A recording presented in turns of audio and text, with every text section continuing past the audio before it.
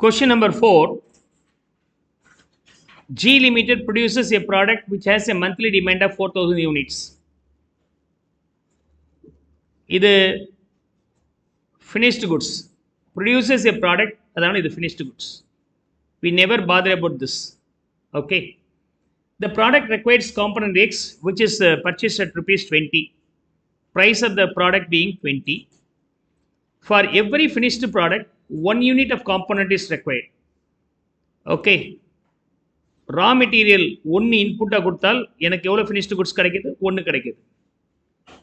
இது monthly demand அப்போ ஒரு வருஷத்துக்கு பன்னெண்டாயிரம் ஃபினிஷ்டு குட்ஸ் எனக்கு தேவைப்படுது.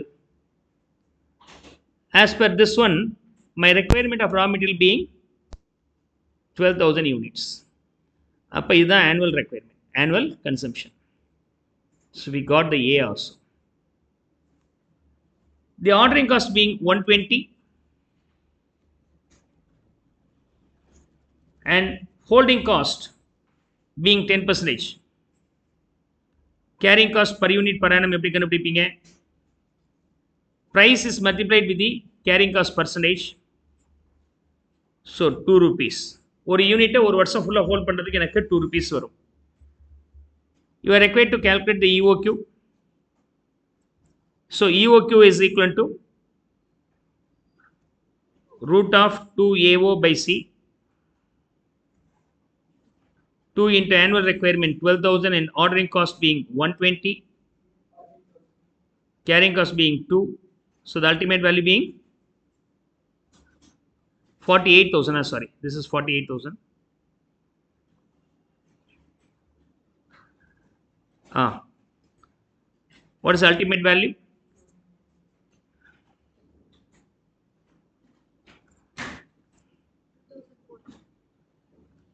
So ultimate value being 2400.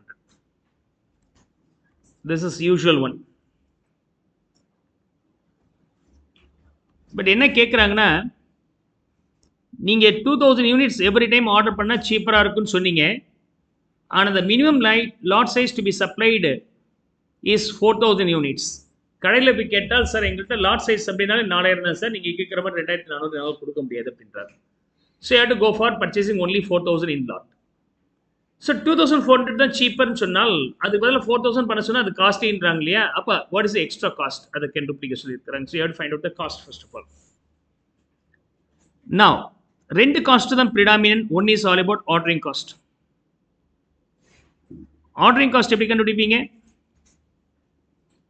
Annual requirement divided by quantity per order இதான் நம்பர் ஆஃப் ஆர்டர்ஸ் இதான் number of orders into cost per order ரெண்டாவது கேரிங் காஸ்ட் கண்டுபிடிக்கணும். கேரிங் காஸ்ட் எப்படி கண்டுபிடிப்பீங்க? Half into quantity held every time ஒவ்வொரு முறை எவ்வளோ quantity hold பண்ணியிருக்கிறீங்க? Into half into carrying cost per unit per annum per unit per annum this is the formula. So if i go for ordering 2400 units every time what is the ordering cost? My annual requirement being 48000 units.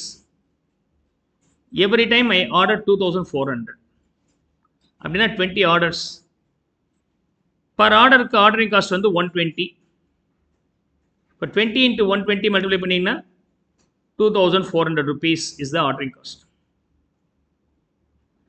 carrying cost வரும்போது half into quantity held every time two thousand four hundred units right நீங்கள் வாங்குறதே lot size வந்து two thousand four hundred two thousand four ஹண்ட்ரடாக வாங்குறீங்க. அப்போ உங்கள் கோடவுனில் two thousand four hundred இருக்கும்.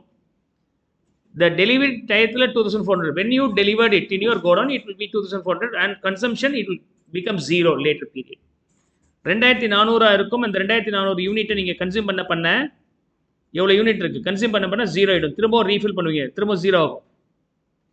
ஃபுல்லாக இருக்கும்போது நீங்கள் ஃபுல் ஆர்டரிங் காஸ்ட் செலவு கேரிங் காஸ்ட் செலவாகும். ஜீரோ இருக்கும்போது செலவே ஆகாது. அப்போ என்ன பண்ணலாம் அப்படின்னு சொன்னாக்க இது ஒரு ரெண்டாயிரத்தி நானூறு இருக்குது இது ஜீரோ இருக்குது அப்போ என்ன பண்ணலாம்னா ரெண்டையும் ஆட் பண்ணி ஆவரேஜ் எடுங்க. Two thousand four hundred plus zero by two அப்படிங்கிறது தான் இங்கே ஹாஃப்ங்கிற நம்பரை நம்ம யூஸ் பண்ணுறோம் கேரிங் காஸ்ட் கண்டுபிடிக்கிறதுக்கு.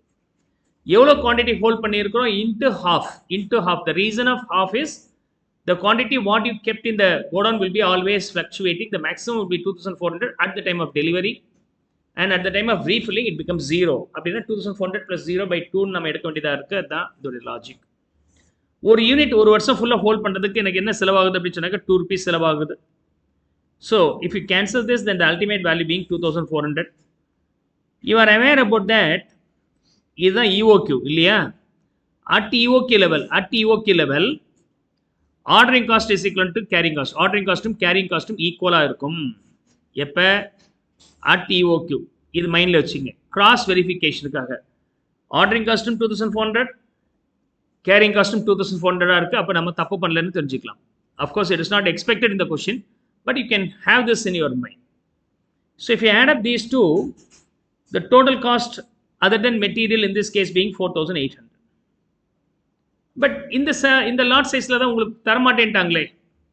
அப்போ அவங்க என்ன சொல்கிறாங்க சார் நீங்கள் வாங்குறதா இருந்தால் ஃபோர் தௌசண்ட் யூனிட்ஸ் தான் சார் வாங்க முடியும். நாங்கள் two thousand two four hundred கொடுக்க முடியாது சார் அப்படின்ட்டாங்க so we plan to go for four thousand units every time four thousand units every time four thousand units போகும்போது என்ன ஆகுது எனக்கு?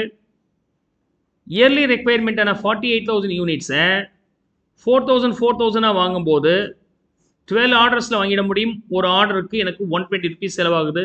அப்படின்னு சொன்னாக்க one thousand four forty will be my cost for ordering alone And in case of carrying half into the quantity held by this time being 4000 into the carrying cost per unit per annum being 2. So if we cancel this and you'll get 4000 rupees. Then the overall cost here being 5440. 5440. So the additional cost you spend here being 640 rupees. This is the additional cost you spend because of moving from EOQ to the other lot size is that clear Yes. Finish of copying this.